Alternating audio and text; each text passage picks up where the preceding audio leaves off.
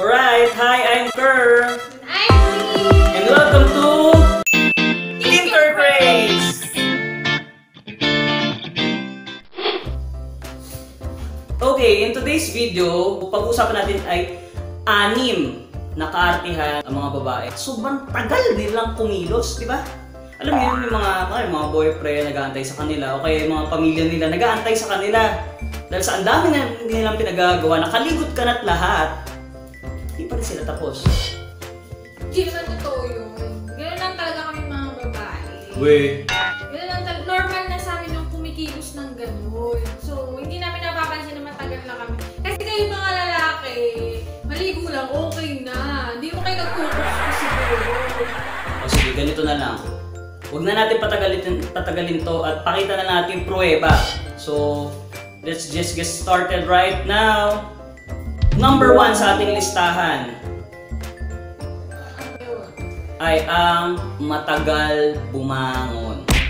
Uy, hindi kami matagal bumangon. Oy, pagka nag-alarm na ang iyong alarm, Ano? kadalasan lang naman, hindi naman natin nilalat. Pag nag-alarm yung alarm, alam mo yung biglang mag 5 minutes ka pa, i-snooze mo pa yung cellphone. Tapos after mo nun, mag-snooze ka na naman ulit. Alam mo yung parang ang, ang alarm mo na yung nangungulit sa'yo, di ba? Eh kasi ganun talaga pag maganda. Oh. Kailangan pa ulit-ulit yung alarm. Okay, given na yung maganda, pero paulit-ulit. Ano, Anli, Anli? Eh, gusto naman kaya nga tayo may unlimited text, unlimited call. So, un- ano pang sense ng clock ng cellphone natin kung walang un- unli alarm? Eh, bukod doon, syempre, iba naman babae, pagkagising, eh, check mo ng Facebook. Ganyan, nagpapatagal yung mga social media accounts nila. Diba? syempre, tin- tinitingnan namin baka merong? Yung Sige na wag, wag na nga natin patagalin. Pakita na lang natin pruweba. Tulad nito,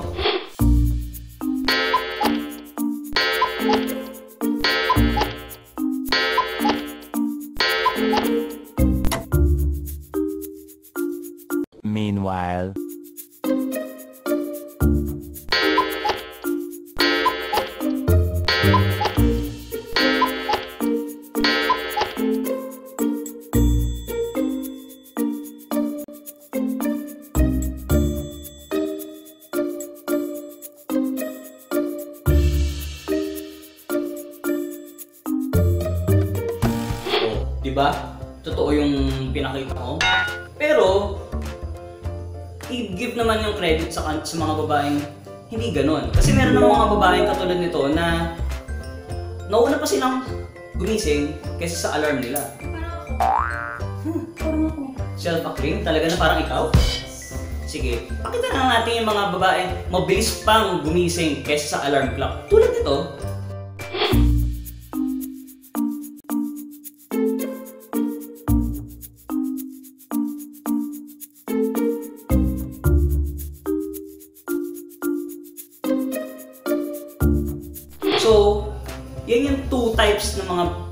Bumabangon ng mga babae. It's either mabilis o mabagal. At ikaw ay... Pwede ba yung mabilis ka tapos mabagal? Kaartihan kasi minsan namin yun. Talaga. Hmm. Mag-move on na nga tayo. Kala mo sila, eh, hindi sila nagagano. Aba? Kasi naman matagal pa bumangon. Hindi lang 5 minutes, 10 minutes pa. Iyaan mo na. Mag-move on na tayo, okay? Doon na tayo sa number 2. At yan ay ang... Siyempre, pagkabangon, maliligo. At sobrang bagal. Bagal, bagal, maligo. Mabagal kami maligo. Kasi marami kaming... Ano kami, hindi rin kami shampoo. Alam mo yun, yung pagka naligo mga babae, karamihan sa mga babae, akala mo nagbabakasyon doon sa loob ng CR. Nilamon na ng CR. Siyempre, parang Burakay. Matindi, ginawa pang burakay yun ha. habang, ano... At ang matindi pa to, bukod sa matagal maligo, ang pampadagdag pa dyan, yung ginagawang concert. Mas masarap kasi maligo pag kumakanta, di ba? Alam mo, nasa rayeta ka. Oo, Diba? siyempre. So, pakita na lang natin pruweba kung ano ba yun, di ba? Ito.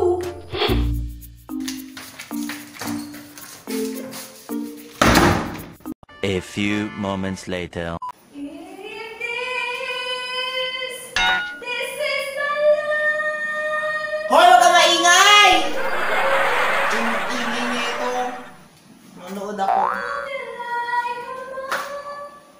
A few inches later.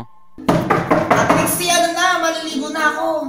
Teka lang naman, napasok ko na. O sige, bilisan mo dyan ah. Oo. A little longer than a few minutes later. Ate Lexi, kanina ka pa dyan. Isang oras na, di ka pa rin tapos? Eh, di ba? More moments later.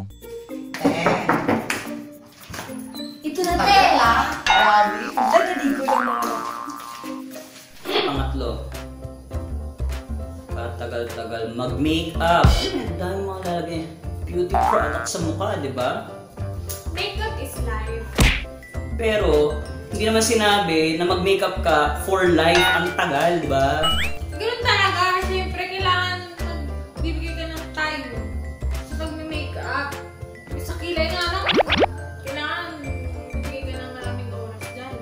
Okay. Eh, alam mo yun, mag- mag-makeup ka na lang, eh, alam mo yun, papasok ka na nga sa school. Alam mo, pagka, ang dami mong kolorete sa mukha, di ba? Pupunta ka na naman sa, kakain ka lang naman sa restaurant, ang daming pinaglalagay sa Kaya mukha. ang use ng makeup, kaya nga, kaya nga benta-benta ng makeup, kaya nga may makeup para gamitin. Kaso, para iburuin. time consuming mo, ano na, time na time mo, tapos, tagal mo, di ba? Siyempre may mga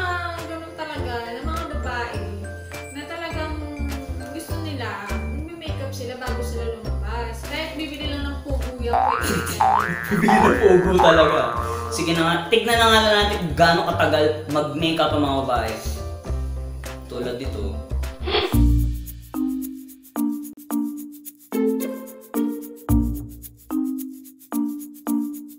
A few inches later.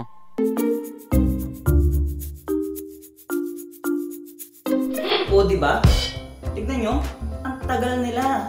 Ako, pagka ganun, alam mo yun, few moments later, tagal magantay, di ba? Dahil sa pag-makeup. So, matagal nang maligo at gumising, nagkabaliktad pa, no? Ulitin natin. yung gumising, maligo, mag-makeup. Guys naman, pang-apat. Oo, di ba? Pagkatagal-tagal, ako nga, ganun ko lang. O, di ba? Tapos na.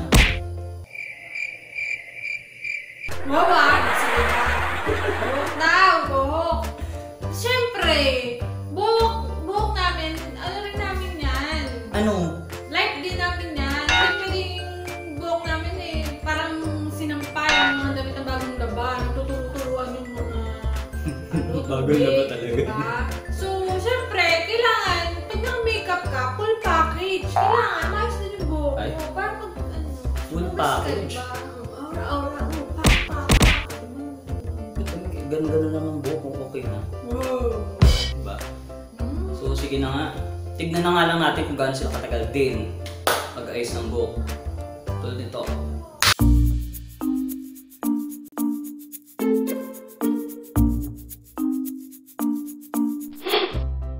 O, di ba? Ang tagal mag-ayos ng buhok, di ba? Tulad ng pinakita nating clip, di ba? So, mag-move on na nga tayo. Nakakairita na, dami na. Sobrang tagal na nagkaantay ng mga lalaki, ah. Kaya na ng pamilya. So, mag-move on na tayo sa number 5. Ano ba ang number 5? Yung number 5, yun yun sa ano, yun yun no. Leave me alone!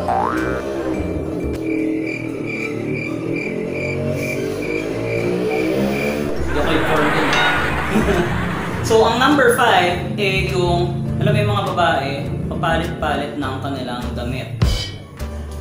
Alam mo, hindi makontento sa damit na alam mo, kala mo artista kung magpalit-palit ng damit. Alam mo yung, nagsuot na siya, tapos magtatanong pa kung okay, tapos di na kontento sa sagot mo, papalit pa ulit, at magpapalit ng papalit, and in the end, babalik din pala siya at kababagsakan niya eh yung una. Siyempre, kami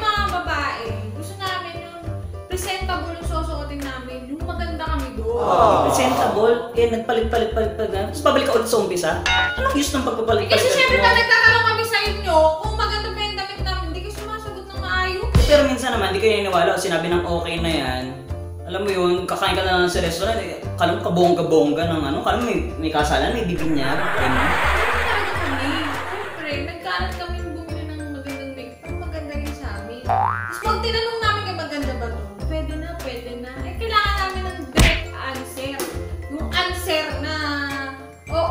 maganda yan. Ayan. So, tignan na nga lang natin to.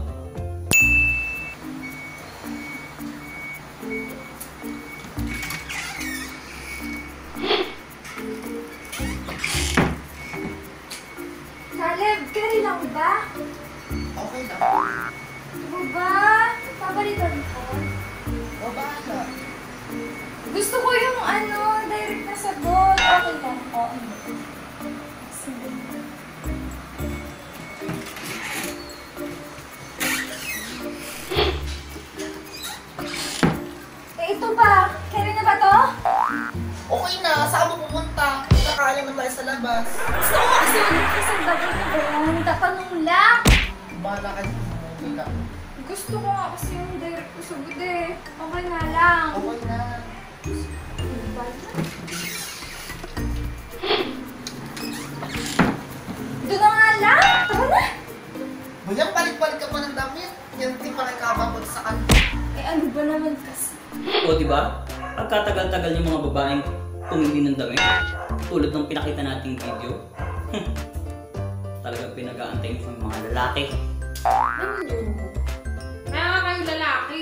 Kasi wala kayong kaartihan. So, kami mga babae meron. Ay, naku. Pero syempre dapat maging considerate naman kayo. Pero mag-move on na nga lang tayo. Sige, magiging considerate kami kung magme-makeup din kayo. Mag-makeup. Ah, Lola, Sabayan nyo make din mag-ayos up. ng buhok. O, di ba? Sige na, fine, fine. I forgive you. Mag-move on na lang tayo. So, number six. Ay, nako. Bago umalis, familiar ba kayo sa word na OOTD? Alam mo yun, selfie ng selfie muna bago umalis. Alam mo, alam mo yung selfie niya, alam mo yung umabot na nakala mo, oh, picture mo ako. Ganda na. Isa pang angle. Portrait naman oh, landscape, pang profile, pang cover, lahat na lang. Yung mga social media niya, dapat merong, alam mo yung picture, al almost na 30 pictures na yung ginagawa. Sa tagal bago umalis. Ano ba yun?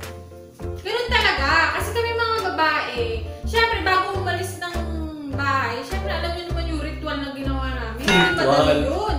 O, di ba? Hindi madaling yun. So gusto namin, bago kami lumabas ng bahay, di ba?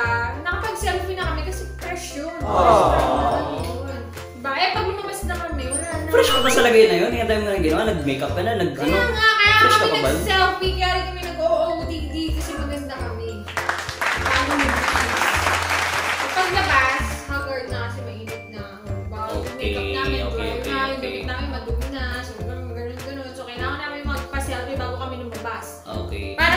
This. meron kami mapapose. Pose. Post talaga? Letter F? Mapapose na. Okay, sige na. Enough of this na nga. Pakita na lang natin kung ano yun.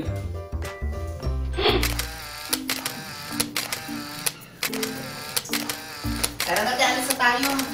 Salam. Tara na! Oh, di ba? Selfie ng selfie, pati yung kapatid. Hinatak na siya, di ba? OOTD niya. So, yan lang naman ang anim na kaartihan o kung bakit matagal ang mga babae bago umalis ng bahay. Pero take note, hindi naman lahat ng babae ganun. Meron naman mga babae na mabibilis gumising, mabibilis mag-makeup, mabilis mag maligo, at lahat na nakabilisan nandun na. So, hindi naman lahat. Huwag naman natin husgan lahat ng mga babae. Give them a credit din naman, di ba? Pero nakakainis na talaga. Minsan yung mga babae talaga ng bagal eh. Kasi depende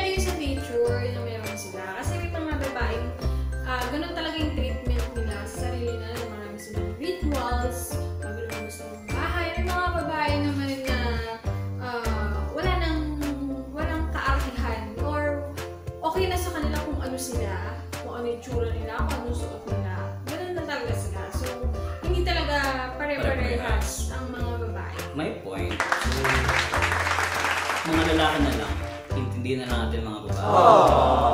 True. Sa bagay, kaya rin naman minsan sila nagpapaganda para sa atin din. Or para sa kanilang family. Tsaka para kasi din, mag-build yung confidence nila sa sarili nila.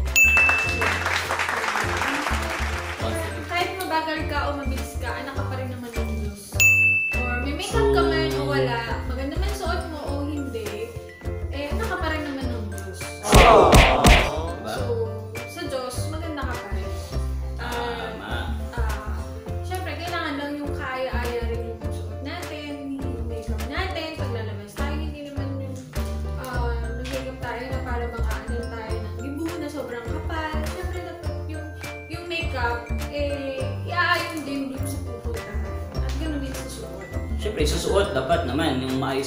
disente. Yung alam mo yun, parang hindi naman kabastos-bastos. So, pagka kunwari, pag lumabas ka, magugulat ka na lang, kaya magtataka ka, or may inis ka na, ano ba yan? Kung ang tingin sa kan mga lalaki, pinag... Syempre, ayusin mo rin naman din, di ba? Ang yung pananamit. So, ang tanong dito, eh, isa ka ba sa mga nabanggit namin? Na, mababagal, or, Mabilis kumilos. yeah. So, kung nakarelate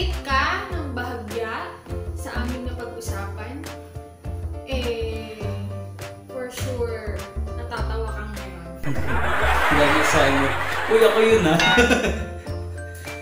okay, as we end this video, syempre kanina, di ba nakatingin mo, mga re- may reenactment kaming ginawa. Gusto namin syempre pakilala ang aming kaibigan. So, kung ano pakilala sa kanya, Yon! Baby Shark ko po yung ipapakilala ko sa inyo. Yan. Tataka kayo bakit may Baby Shark ako. So, ipapakilala ko po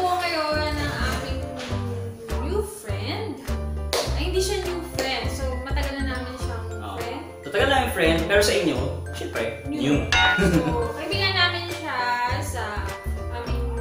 Youth organization sa church, ang Amplify. So, So, ngayon, makik makikijoin siya sa atin. So, ngayon, papakilala ko siya. Ang pinakamagandang baby shark sa buong mundo. So, ito na siya. Walang iba kundi si... Rixie! Rixie! Ano? Ang ganda pa ng baby shark. Ayos ba yung acting niya? Comment nyo nga, like lang. Siya yun. Bati ka naman sa kanila, oh. Hi. Mahihain ako. Ay. Sino bang gusto mong batiin? My friends, my families, my specials. Charot. Ah, sino yun? Never mind. Si Lord! Si Si Lord! Lord. yun. Yeah. So, if you like this video, guys, give it a thumbs up and subscribe to our channel. So, see you next time on our videos. 拜拜。